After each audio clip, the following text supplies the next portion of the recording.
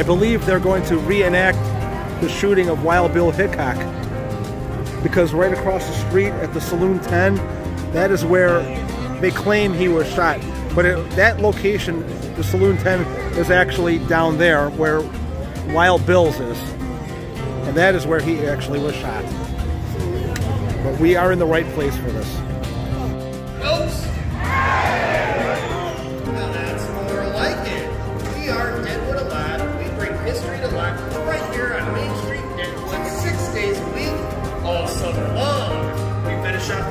Days with the trial of Jack McCall, right down the street in the Wild Bill Theater, just above the Wild Bill Bar down there.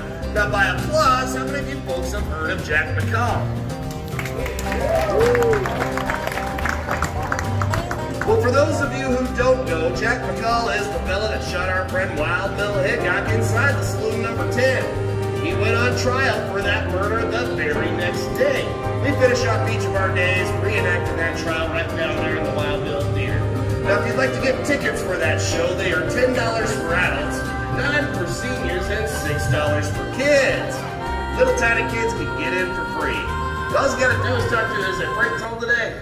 Okay, you can talk to Frank Toll. He'll be right up there in our information chuck wagon right after this show selling tickets for the trial of Jack McCall. We are in our 99th year of production of that play. It's one of the longest running stage plays in America. A lot of fun for the whole family, very kid friendly, and it is definitely a must see while you are here in Deadwood, so you should definitely check that, that out. And while you're up there at the Chuck Wagon talking to Frank Toll, he's also got maps, flyers, schedules, brochures, anything you would need to plan out your day here in Deadwood because he just loves telling people where to go. Now, my name is Sheriff John Manning, and I was the first to sheriff in Deadwood. I've been looking around town today, and there is a lot of folks around. And I need a little extra help. So I'm going to swear in some of you folks to be official Deadwood deputies. So I need all the kids to stand up for me right where you're at. All of you, come on now, don't be shy. Big kids, little kids, even grown-up kids if you want.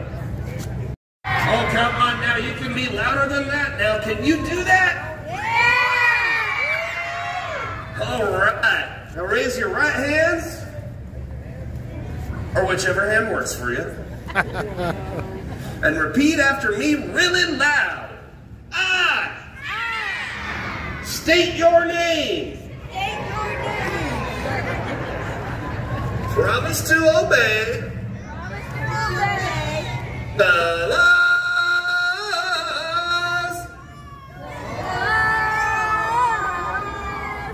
of Deadwood Gulch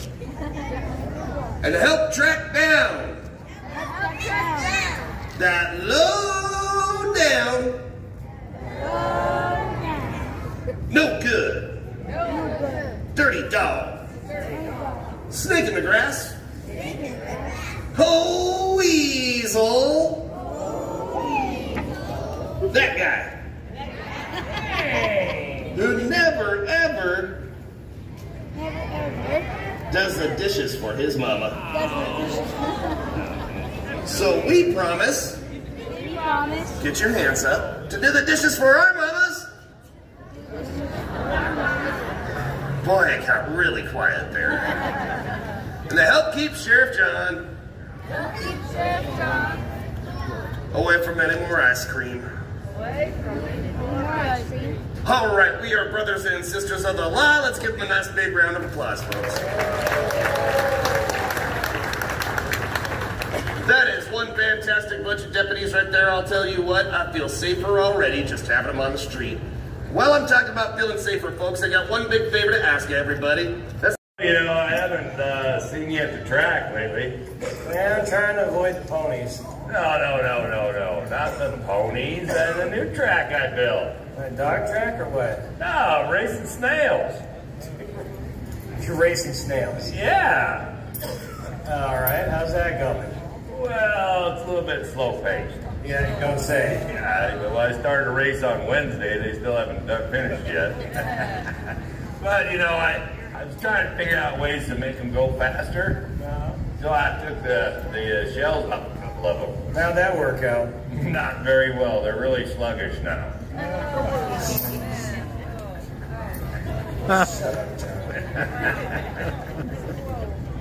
Don't even recognize me anymore, do you? No, no, no, no, no. Now, my name is Jacob Wertheimer, and I'm a local shopkeep. And according to the August 19th edition of the Black Hills Pioneer newspaper, two gamblers named Johnny Barnes and Charlie Storms got into a disagreement over a game of cards. And the solution they came up with was to set themselves up as targets at a gallery and shoot it out. The best place for this affray would be right over here on Gold Street. So we are just about on the exact location where this event actually occurred. Not even two weeks after poor old Wild Bill was shot and killed, the hills had once again rang with the lively notes of gunfire. Man, about time you got done talking, you long-winded cuss. Man, as long-winded as that Wild Bill. Well, nobody's long-winded as him. He can talk for miles. All right, boys. I know I got this, and I'll make it ten. Ten, huh? Yep. The only way you can beat me is use cheating, so I'll see your ten. Well, if you boys are playing like that, I'm beat. Huh? I'll be up at my dry goods store, washing my fancy new windows. I'll be over with you in just a minute. I kind of want to see how this plays out. Come on, Johnny, let's see his hand of yours. Full house. King's over. How about that? Now, hold on a minute. My four sevens would like to have a word with you. I knew you couldn't beat me unless you was cheating. Four sevens, huh? Yeah, four sevens. Yeah, there ain't no way a fella could be that lucky. And you called me the cheat? You're the cheat. Johnny, if you got a problem, I know a way to solve it. Oh, if you're calling me out, I'm game. You're ready to meet your maker. Johnny, this ain't no summer game. I'm gonna get my winning seven and see if you fit for a wood coat. Oh, Charlie, you get yours. Don't be in such a hurry to die. Come on, Johnny. No walking whistle, Dixie. Pull that pistol of yours. I'll tell you what, Chuck. You ain't getting my money. My life. So what darnation are you urgents doing? Shut up a fancy new window that I shipped in all the way from Cheyenne and hit Mr. Ludwig here in the leg. Put it into this ruckus right now. Oh, butt out of this, Wertheimer. I'm not quitting until I get my money from that bummer. Bummer, huh?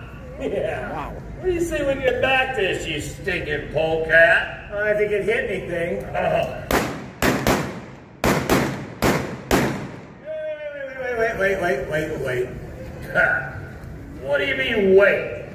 I'm out. I know. Did I get you? So I don't think. How about now? Nothing. Oh, dang it.